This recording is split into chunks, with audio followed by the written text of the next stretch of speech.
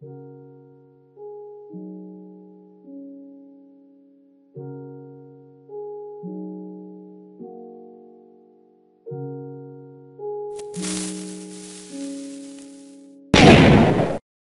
iedereen en welkom bij onze eerste Vlaamse tutorial. Vandaag ga ik jullie laten zien hoe dat je texture packs moet installeren.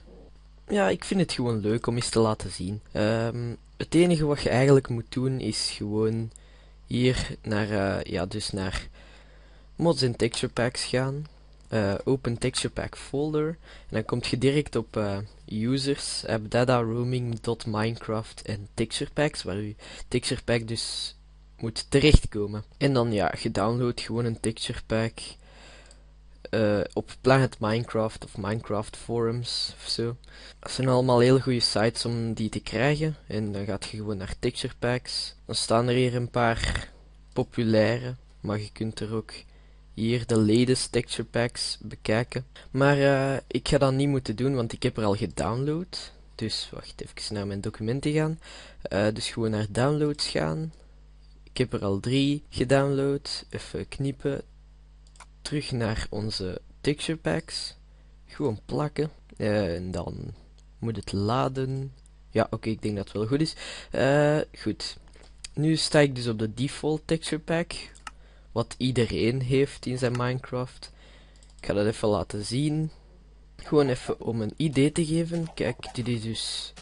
Dit zijn dus een paar dingen in de default texture pack.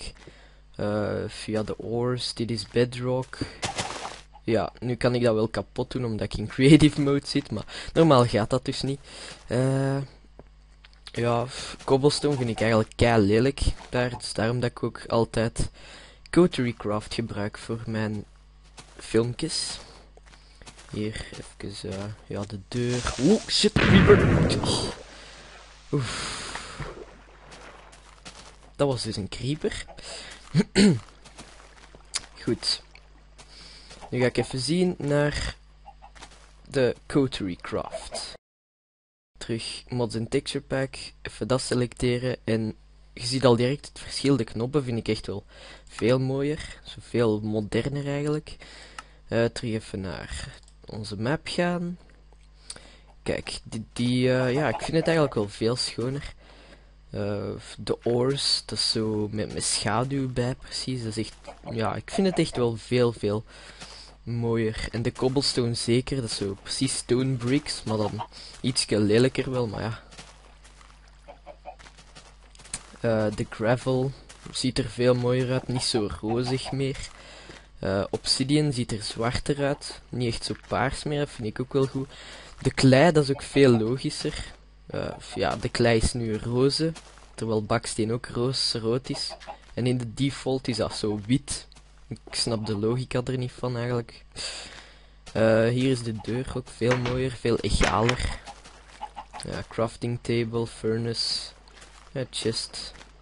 Die een beetje raar doet bij mij, ik, weet ook niet waarom. Oké, nu gaan we eens even zien naar de derde texture pack. Oké, dit is de Creative Ones Medieval Pack. Um, je ziet hier 64 x 64. Dat is dus een HD texture pack.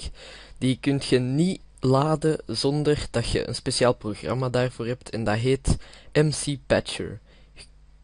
Je kunt dat eigenlijk heel gemakkelijk downloaden. Ga gewoon naar Google. Uh, la la la. MC Patcher. En dan kun je dat hier gewoon even downloaden. Ja, hier, free download. Maar ik heb het al gedaan, dus dat is goed. Dus dan moet je gewoon even MC Patcher zoeken als je het geïnstalleerd hebt. Voilà. Even openen. Uitvoeren. Ja, en dan zie je dus dit. Voilà. Dan moet je gewoon op patch drukken. Voilà, patching minecraft.jar 100%. Goed, en nu zou uw texture pack goed moeten laden. Nu kun je dat ook in-game gebruiken. En voilà. Zoals je kunt zien, de kip ziet er wel veel veel realistischer uit. Ziet er eindelijk niet meer uit zoals een eend. ik dacht eerst echt wel dat dat een eend was. Uh, ja, je ziet, alles is veel, veel gedetailleerder, maar het lijkt ook veel, veel meer. Zoals je kunt zien.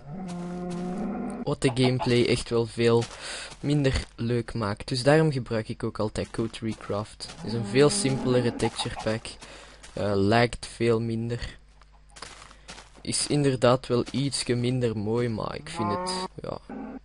Oké. En dan de laatste, SMP's 16 Revival. Dit is een texture pack die niet voor de juiste update is. Dus uh, ik heb update 1.8.1 en uh, die texture pack is voor een update daarvoor pas. Dus dus dat is eigenlijk een kapotte texture pack. Zoals je kunt zien, bijvoorbeeld hier de vines, die zijn pas uh, recent geüpdate voor 1.8.1. En die zijn dus niet getextured. Die, dus het is gewoon een, ja, een groene, egale vierkant eigenlijk. Uh, wat dat je ook hebt, dat kan ik nu even niet laten zien. Ah, zie hier ook het water is gewoon egaal blauw. Ook niet echt zo schoon. Dus daar moet je echt wel op letten. Uh, als je een texture pack downloadt, moet je echt wel zien voor welke update dat dat is. Want anders... Oh, een zombie. Hallo daar. Voilà, die is dood. Um, ja, dus je moet echt wel letten op de juiste update. Of dat je de juiste texture pack hebt gedownload. Want anders krijg je iets zoals dit. En dat is niet zo mooi. Oké. Voilà. Dan ga ik even terug naar... Oeh, nee, dat wil ik niet. Naar mods en texture packs. Terug naar Code Recraft. Dat is mijn lievelings texture pack. Uh, ja.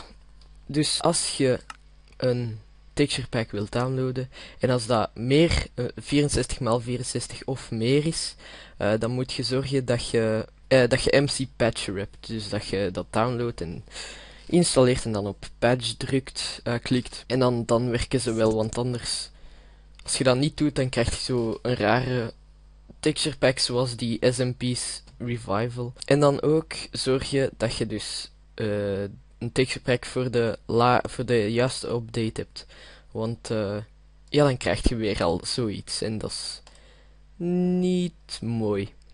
Uh, ik denk dat dat het is. Het was een heel simpele tutorial. Mm, bedankt voor het kijken. Als je deze video tof vond in het Nederlands, laat dan even zo like achter. Dat ook advies in de comments. Dat helpt ons echt heel hard om onze video's te verbeteren in de toekomst. En subscriben is natuurlijk altijd ook toegestaan. Nog eens merci voor het kijken. Tot de volgende.